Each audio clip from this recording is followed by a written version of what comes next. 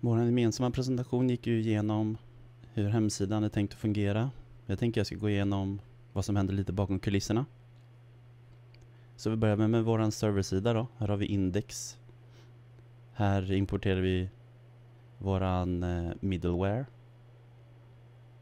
Eh, path används för, eh, vad ska man säga, den hanterar filvägar helt enkelt. Collection är eh, det som integrerar med våran MongoDB då, våran databas. JVT är JSON Web Token och den används för autentisering. Eh, eh body Parser den eh, hanterar helt enkelt HTML requests och datan som skickas där i. Bcrypt är eh, det som vi använder då för att kryptera och hasha, eller vad ska man säga, hash and salting av eh, användarnas lösenord. Så, um, ja. Authenticate token. Det är en middleware-funktion som används för att autentisera be olika begäran. Så att eh, den kollar helt enkelt ifall en användare är inloggad och har fått en korrekt token. Om ingen token finns så returnerar 401 att ingen token finns. Om tokenen skulle vara ogiltig så får man tillbaka 403 och även meddelandet invalid token. Men eh, om eh, allt ser korrekt ut så avkodas tokenen och användarnamnet kan bifogas till begäran. Eh, de här tre då, det är ju mer ja, en expressvägdefinition för root. Så en get-förfrågan görs så, och eh, då renderas login kan man säga. Och eh, den här hanterar då när man har sign-up routen eller vad man säga, alltså när man går, försöker nå den vägen. Eh, och även här då görs en get-förfrågan till sign-up och sign-up renderas. Ja, den sign-up-sidan renderas om man säger så. I nästa del, Get Save Recipe, då ska vi kolla på vägen som vi når genom att försöka spara recept i vår webbapplikation. Och eh, den nås ju då via Get Save Recipes. Vi använder Authenticate Token för att, som vi precis pratade om, det är ju för att säkerställa att användaren är autentisierad, det vill säga inloggad och har fått en JVT-token. Eh, och det behövs för att komma åt Gates Recipes, för annars så finns det ju ingen användare så då kan du inte ha några sparade recept. Vi har ju en async await funktion här. Eh, och det betyder att den kan vänta på eh, den här operationen vilket är väldigt bra när man ska hämta ur en databas. Den väntar liksom på att få tillbaka eh, username. Och eh, username då får vi från det här requestet. Om det inte finns någon användare då får vi tillbaka 404 user not found. Eh, men eh, förhoppningsvis då så har vi fått en user och då kan vi göra en då kan vi spara user.saveRecipe som är en array i saveRecipes. Och eh, sen så konsolloggar vi det här och det är mest bara för våran egen skull för att typ felsöka och se så att alla recipes kommer in en i taget varje gång man klickar. Och då får man faktiskt hela arrayen så att sparar man ett fjärde recept då ser man då får man tillbaka en array med fyra vilket är väldigt skönt för då ser man ju att den hamnade sist i arrayen där. Och eh, ja. Om allting gick bra, då får vi tillbaka statuskoden 200. Det betyder att det, att det gick vägen. Och sen så innehåller svaret även listan här då, över sparade recept i form av JSON-data. Om någonting skulle gå fel under hämtning och hantering av sparade recept i den här funktionen då, så försöker vi fånga det med en try-catch. Och eh, om det nu skulle bli något fel så loggar vi det och eh, skickar tillbaka 500 vilket betyder internal server error. Så det betyder att någonting har gått fel i hämtandet av användarens sparade recept. Nu ska vi ta en titt på Save Recipe som vi såklart behöver för att eh, kunna spara recepten. Annars hade vi inte kunnat haft något att hämta här till exempel. Och eh, den lyssnar ju då till eh, Save Recipe. Och den behöver ju också autentisera användaren för att se till så att den är inloggad och har fått sin JVT. Eh, och här då hämtar vi body från request. Vi, det är ju det som skickas från klienten. Vi extraherar även ID ur body. Och eh, vi använder eh, username från autentiseringen och eh, lagrar det i username här. Det här kan vi sedan då använda för att hitta våran användare i databasen och spara i user. Så att den hittar användaren med det namnet och sen så letar den efter ja, vad ska man säga? Ja just det, här kollar han ju ifall det redan finns ett recept som är sparat.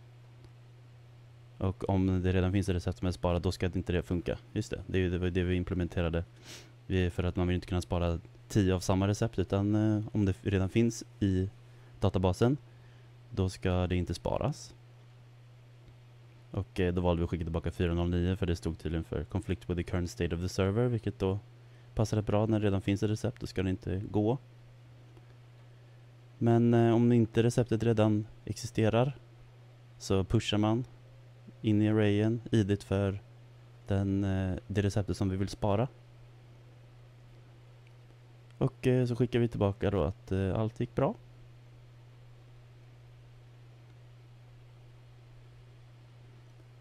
Och eh, här har vi då sign up.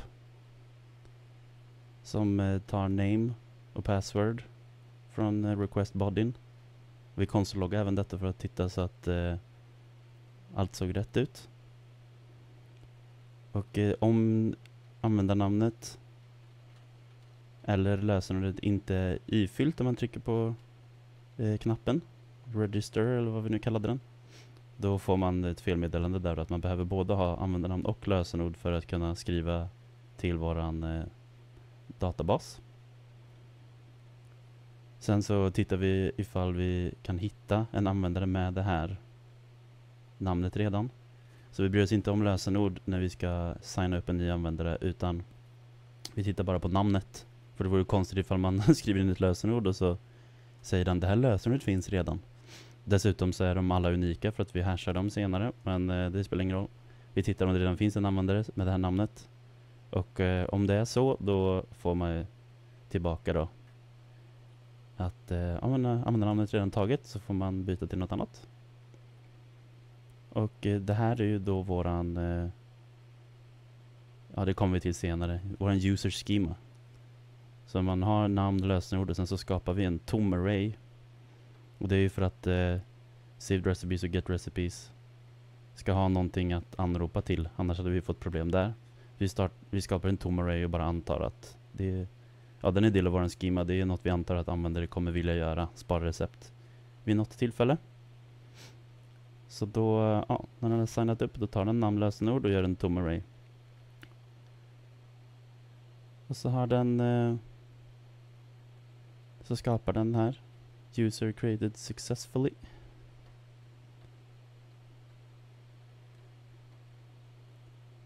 Sen har vi vår login-funktion. Och eh, den eh, hämtar också username och password från request body. Det fattar man ju. Den måste ju kontrollera båda dessa för att se så att de stämmer överens med varandra enligt databasen. Om de tillhör samma objekt så ska man ju kunna logga in då. Så att eh, det här är också en sync await för den vill ju hitta lösenordet innan den vet om den eller den vill ju kunna hitta användaren innan den går vidare. Så att då väntar den på att vi har kollat i våran collection. Om eh, lösenordet eller eh, användarnamnet inte stämmer överens.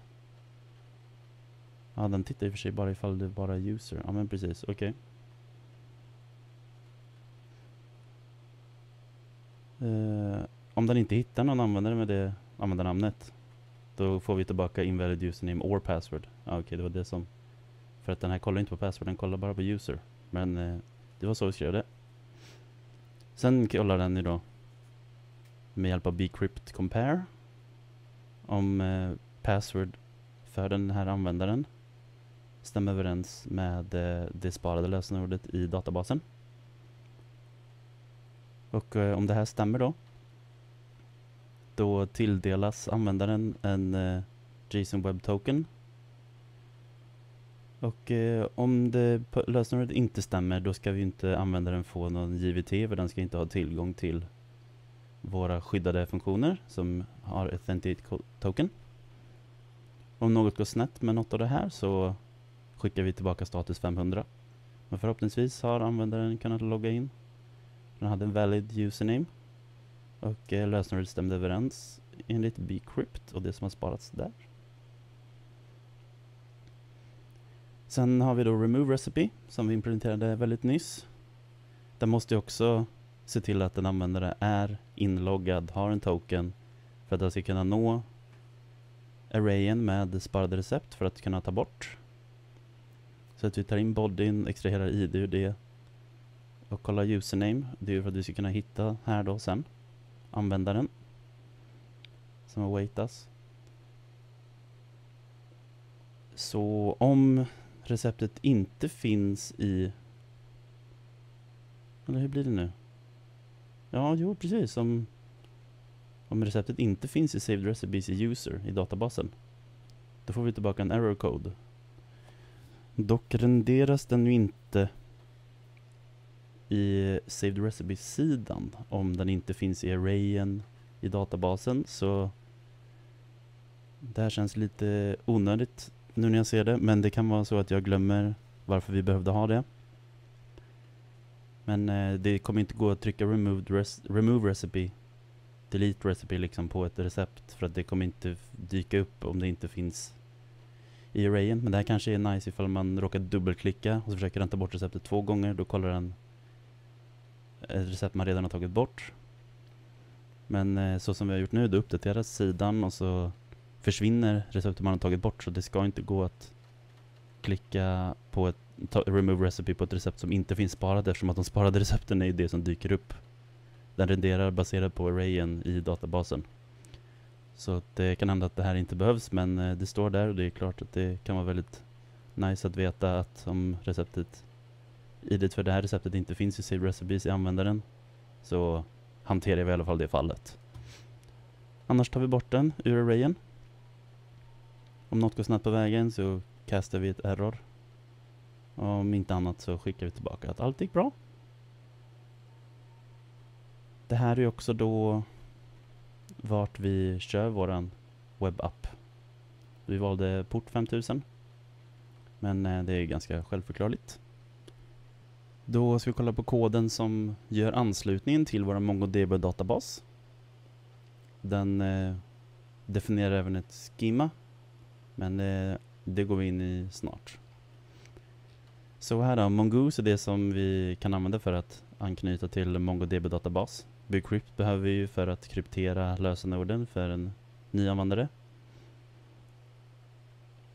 Collection name här, det är namnet på vår collection och här har vi URLen och det här är ju för att vi på ett intuitivt sätt ska kunna visa hur vi kopplar till vår MongoDB-databas.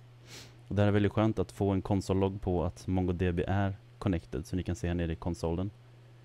För eh, det är väldigt skönt att veta att det har gått korrekt till så att eh, när man försöker skicka och hämta grejer så vill man i alla fall veta att MongoDB-databasen är kopplad. De flesta gångerna så får man inte ens failed utan den försöker att connecta ganska länge. Om det inte går fort då brukar det vara att IP-adressen inte är tillagd.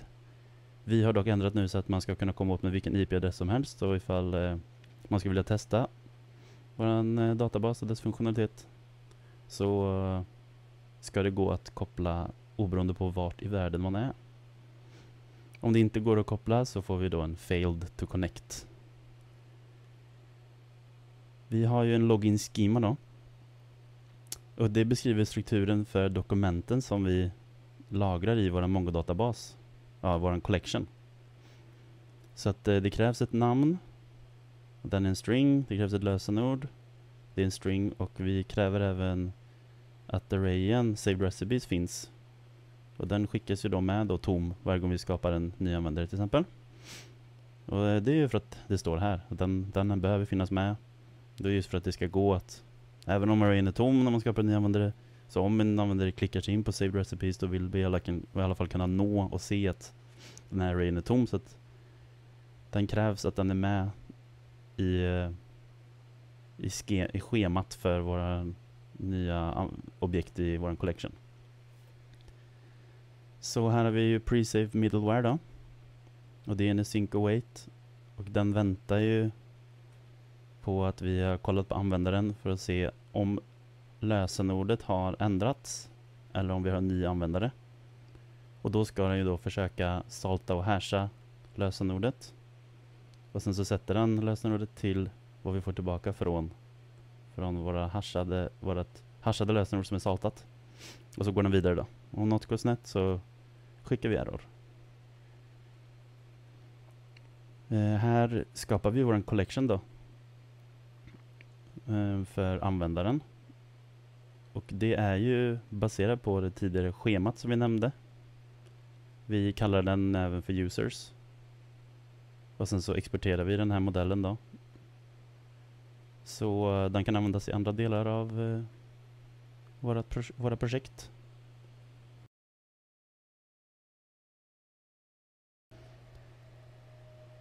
Det här är ju app.js då. Den använder app.css som vi inte behöver gå in så mycket på för att vi har inte fokuserat på att göra en sådär hemskt snygg sida. Mer att eh, användargränssnitten ska vara funktionella. Så att, eh, ja, här har vi, där är ju då en style sheet så att eh, det är det vi använder för att snygga till men vi har inte lagt så mycket energi på det utan det är viktigare att vi går in på den rena frontenden. Eh, search page, instructions och save recipes är ju komponenter som eh, representerar olika sidor i vår applikation. Eh, routes, route och link används för att hantera navigation och routing i vår applikation. Då. Login header är eh, komponenten för att sköta användar ska man säga, ja men inloggshanteringen. Logo image är bara ja, våran snygga logo som jag gjorde. Som man även kan klicka på för att gå till hemsidan, eller gå, komma till eh, startsidan, index. Vi har behövt jobba med väldigt många API-keys som vi nämnde i vår gemensamma presentation. Där vi då bara snabbt kan byta ut en av de här när vi får slut på requests från API. Vilket händer då var 150 request, så det vi behöver de här nästan varje dag. Men som tur var så uppdateras de varje dag så att vi har extremt många API-keys som vi kan använda för gratisversionen av Spoonacular API. Eh, server URL är ju då vart vi hostar sidan så att den kan nå våran eh, Express-server. Save Recipe är eh, ju då den som vi pratade om innan som används för att spara recept.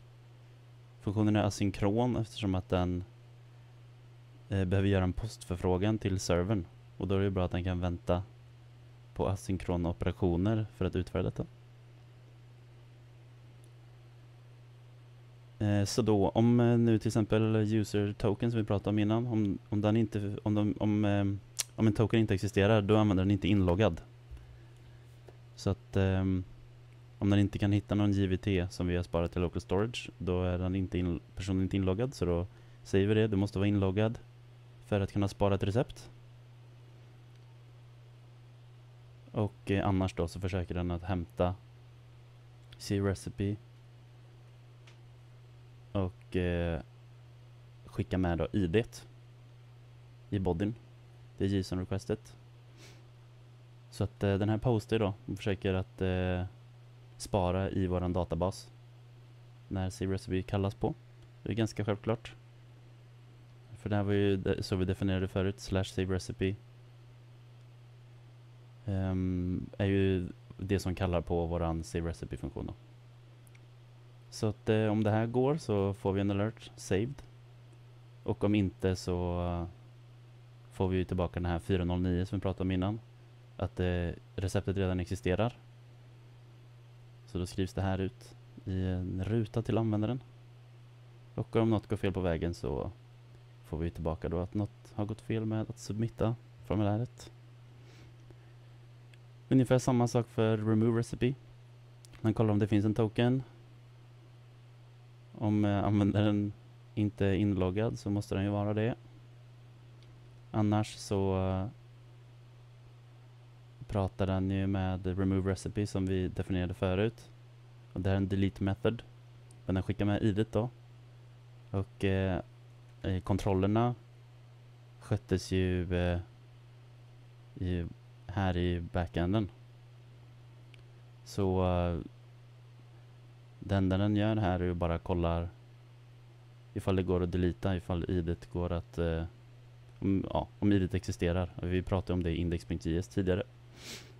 Så att eh, det här är egentligen bara då delete-funktionen. Om response status som vi får tillbaka från index.js om den är 200 då alertar vi och säger att den är deletad. Då vet vi att allt har gått rätt till och vi har fått tillbaka 200 från index.js. Och eh, om eh, statusen är 409 då vet vi att eh, receptet inte gick att ta bort. Och eh, det här är ju då renderingen av våra komponenter och rutter. Så att eh, vi använder link för att eh, göra start, alla den här loggan som vi har högst upp, Kitchen Buddy.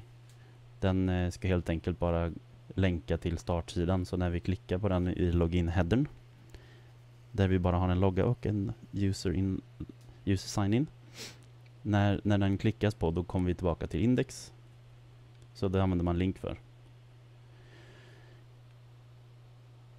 Eh, lo ja, login header är vår komponent. Och den används för inloggningshanteringen. Vi kommer gå igenom den lite senare. Så jag vill inte säga för mycket. Och eh, route och routes här. Det är våra navigationsrutter. Och eh, den eh, kopplar då till startsidan, instructions och save recipe. Och eh, det instructions och save recipe det beror på att search-pagen här. Den, eh, den kommer ju att returnera massa recept. Och då kan man välja att eh, klicka på instructions eller save recipe på varje individuellt recept. Så att eh, det är därför vi har de här. De här kommer vara del av recipe card-komponenten som renderas för varje recept som returneras av sökningen Och sen då export default app. Det är ju för att app-komponenten ska eh, exporteras dels för att den ska kunna användas då i andra delar av applikationen. Cardinfo är en underkomponent som vi använder för att eh, visa information om ett recept. Den är ju då från React Bootstrap. Och eh, den använder också linking och button som vi går in på snart. Eh, den tar emot flera props som innehåller då information om receptet och eh, även då vilka ingredienser som användaren har och vilka ingredienser som användaren inte har, missing ingredients. Och eh, om både användare och saknade ingredienser finns så renderas de i en lista. Och eh, det syns ju då i varje recipe card. Så det finns en titel, en bild och en, um, en lista över uh, vilka ingredienser som användaren har och vilka den inte har. Och det var ju då för funktionaliteten då att man skulle kunna lägga in vad man har för någonting hemma i skåpet och sen så skulle man kunna filtrera även på recept baserat på att den skulle ha så få missing ingredients som möjligt. Eh, så det är därför eh, vi implementerade det tidigt men då inte riktigt lyckades hinna göra klart den funktionaliteten. Eh, link-komponenten då använder används ju för att länka till instructions. Det finns två knappar. En för att se och en för att ta bort receptet. Och det är för att vi återanvänder Cardinfo i våran eh, saved recipes page. Så att eh, i, på search page så får vi see recipe. Men på eh, saved recipes page så har vi remove recipe för samma button.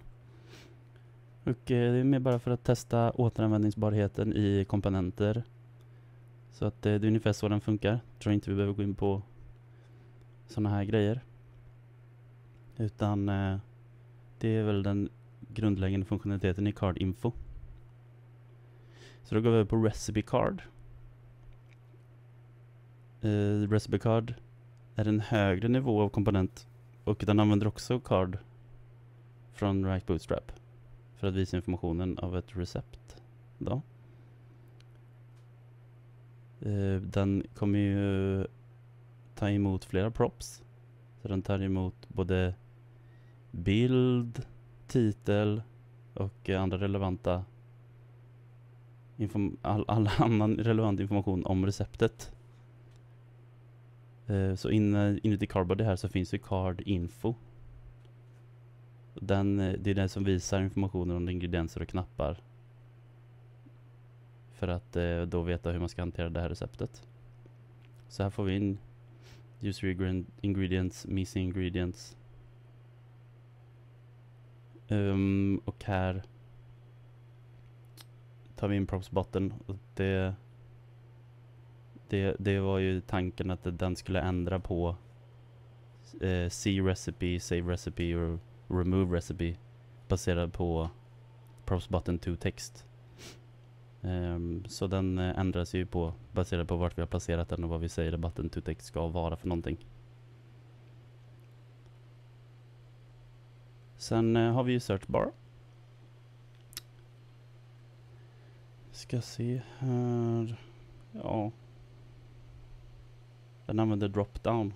Vilket är en bootstrap-funktion. Och det är för att när man har loggat in då så kan man använda en drop-down för att komma in i saved recipes page. Men eh, det här är ju en komponent. Så att eh, den är, det är basically det här som är vårt sökfält. Den använder useState för att hantera de värdena som vi har matat in då. Så att vi kan kalla på API med relevant information baserat på vad man skrivit in. Och useEffect då, den övervakar ändringarna i värdet så att man kan uppdatera den sökning som man har gjort som når API då. Eh, det här hanterar bara så att när man trycker på enter så eh, görs en sökning.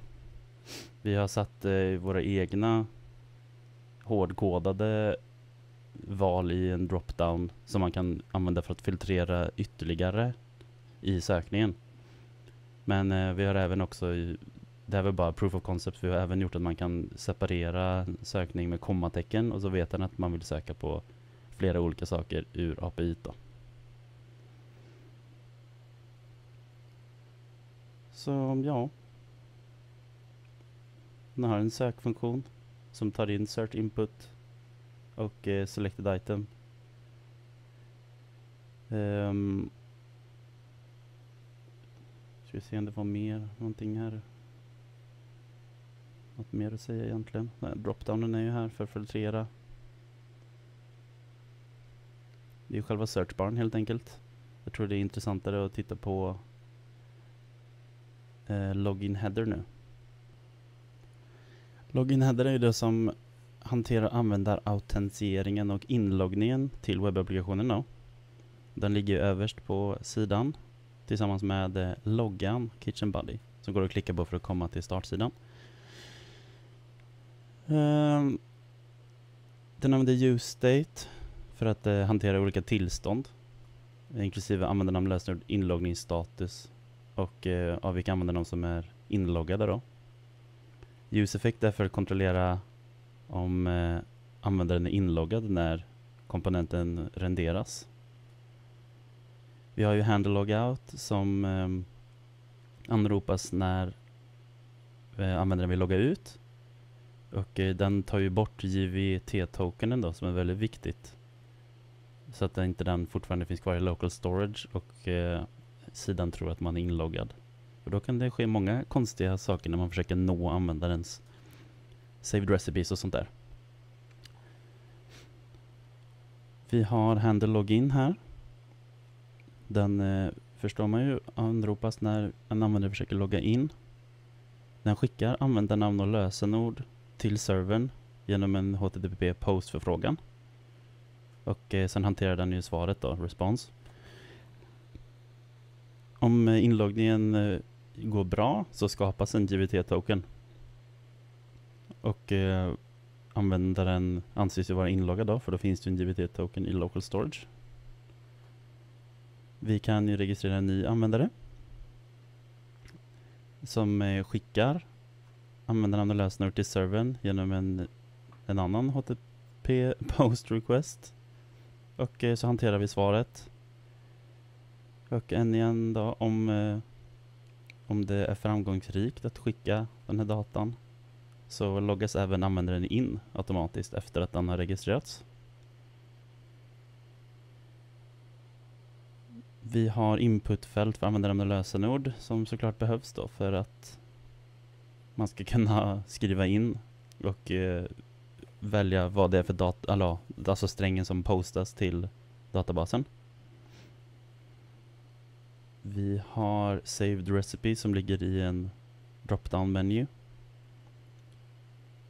Och där i då ligger ju saved recipes som länkar till den här hemsidan och den hämtar um, saved recipes eh, som vi pratade om innan, alltså den hämtar ju saved recipes från användaren då ur databasen som och visas då i sin recipes page.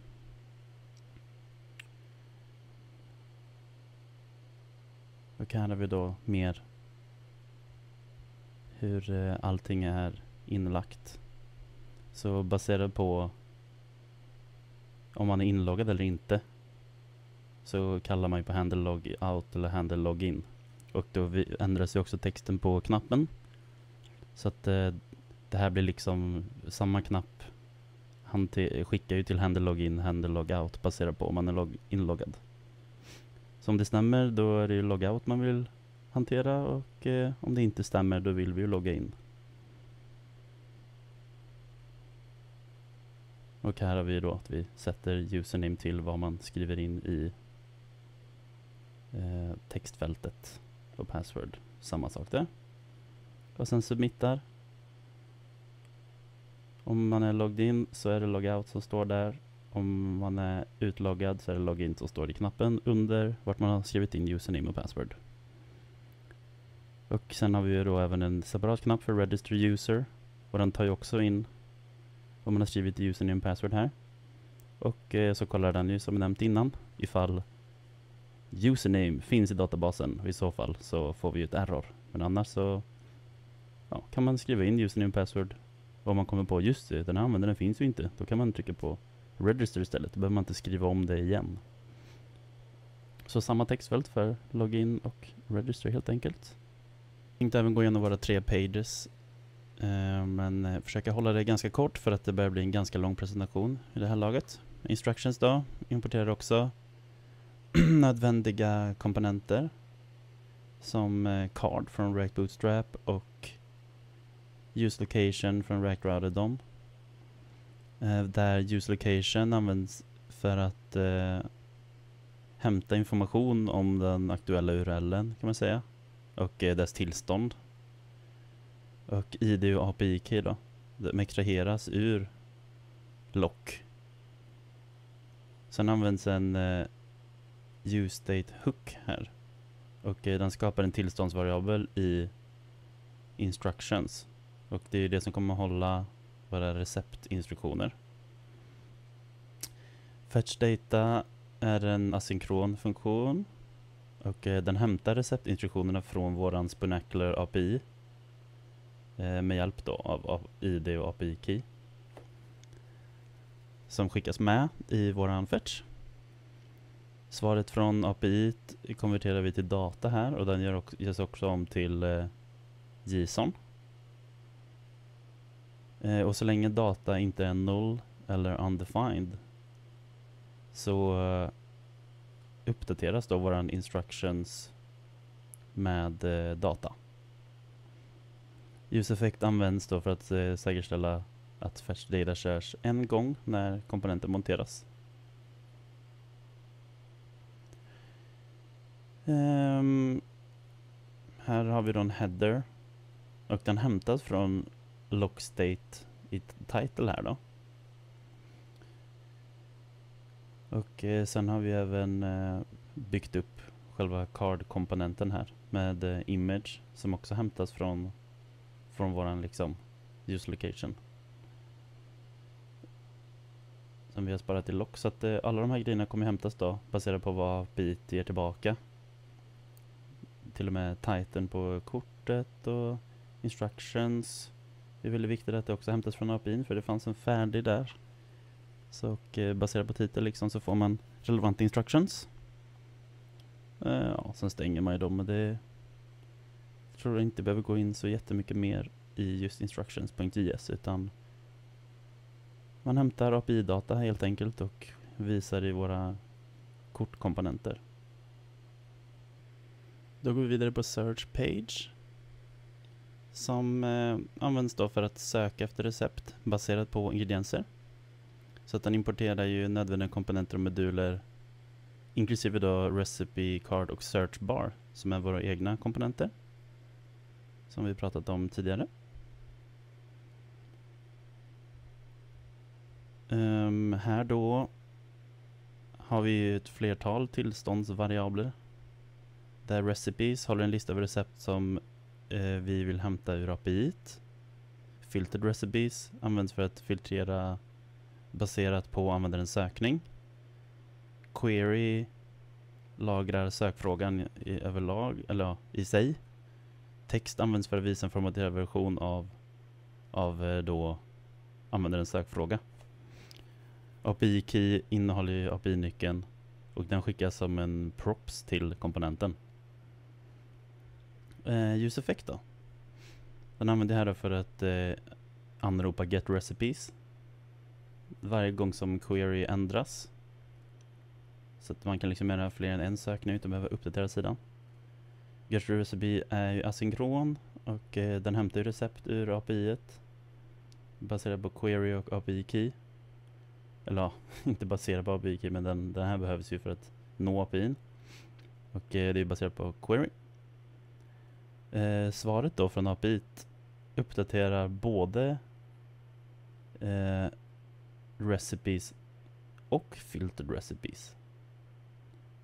För att eh, sen då kunna visa eh, resultatet på sidan.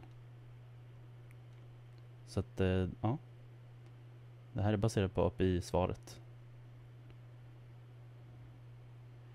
Search recipes här nere då. Den eh, anropas varje gång som en användare vill göra en sökning. Den uppdaterar query eh, med in användarens inmatning kan man säga. Och sen så får vi tillbaka resultatet som en kommaseparerad sträng i txt då. Set txt blir en kommaseparerad sträng av eh, användarens inmatning. Sen har vi det här roliga då. Eh, det är return-blocket här som renderar söksidan. Så den visar en rubrik eh, med sökfrågan. Ja, det här blir... Ja, det, mm, vi ska hålla tungan rätt i mun här. Den visar en rubrik med sökfrågan och sen så har du ju även sökfältskomponenten, search bar.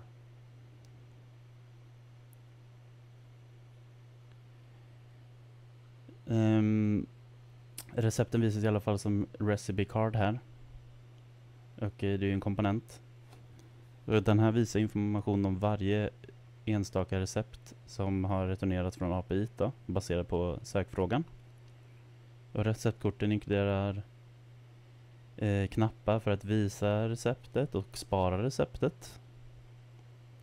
Och sen så har vi då handle save recipe och handle remove recipe baserat på om den här eh, ja, den hanterar de två queriesarna. Antingen så vill man spara eller så vill du ta bort receptet.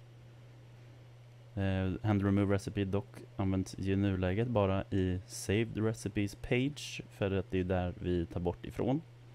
Och det är också det som uppdaterar button to text till att eh, säga remove istället för save recipe. Det är lite återanvändning av komponenter. Då är det väl bara saved recipes page kvar då. Det är den nyaste sidan vi har gjort för att eh, då hämta de sparade recepten ur databasen för en specifik användare och eh, rendera dem med kortkomponenter för att visa dem då för användaren. Så den hämtar arrayen med saved recipes ur databasen och sen så baserat på det så renderas ju kortkomponenter med varje specifikt sparat recept. Och eh, vi återanvänder också Save Recipe-knappen, men här har den bytts ut till Remove Recipe. Men det kommer vi till. Så att eh, den behöver vi använda Recipe Card då, för det är det som vi använder för att visa varje sparat recept. Så att, eh, det är vi väldigt nöjda med, att kunna återanvända komponenter ännu en gång. Den eh, använder ju flera tillståndsvariabler då som, som eh, saved recipe, ursäkta. Och den här lagrar då en lista över de sparade recepten. Token hämtar JVT-tokenen, det vill säga ja, när den använder är inloggad så får den ju sin JVT-token så den sparas här i. Vi har server URL och API-keyn som hämtas in. Eh, mest för att inte behöva ändra den på flera olika ställen utan då kan vi använda samma API-key, ändra den på ett ställe och sen så hämtar vi in den här. Eh, GetRecipe är en asynkron funktion och eh, den hämtar informationen om ett recept från Spoonacular API här baserat på receptets ID och eh, så har vi då använt API-key såklart. Eh, Get Recipes den eh, gör en get-förfrågan till servern med eh, JVT-tokenen för att autentisera då. Och sen så hämtar den en lista över sparade recepten och sen så hämtar den också detaljerad information om varje recept från Spanacular API då. Och det görs ju då med GetRecipe-funktionen. Så att eh, den används direkt här. Kan vara lite rörigt att ha så liknande namn, men det var så vi gjorde. Eh, sen då, alla de sparade recepten läggs till i All Saved Recipes. Och eh, sen så uppdaterar vi Set Save Recipes då med All Save Recipes. Då kan vi använda ljuseffekt här för att anropa Get Recipes. Eh, och det gör sig då varje gång komponenten laddas. Eller om tokenen skulle ändras av någon anledning. Då kommer den också använda ljuseffekt. Eh, om det inte finns någon JVT-token, det vill säga att det inte användaren är inloggad, då eh, loggar vi bara No Token Found. Sen har vi en lång if-sats här då. Om det finns saved recipes, det vill säga om vi har fått, fått tillbaka någonting ifrån databasen. Eh, då ska de ju renderas. Så varje sparat recept visas som ett recipe card. Eh, där vi får information om receptet och sen så knappar då för att eh, ta bort receptet. Så att eh, C recipe, remove recipe. Där C recipe kommer skicka vidare den till instruction page för det specifika id på receptet. Och eh, remove recipe kommer ju då handle remove recipe. Vilket är det du vill göra i Save Recipes page. Se receptet som är sparat eller eh, ta bort det. Och det var väl allt för min individuella presentation. Hoppas att det inte var för invecklat eller otydligt förklarat. Tack för den här kursen, det har varit väldigt lärorikt. Och eh, hoppas att vi ses eh, någon annan gång i framtiden.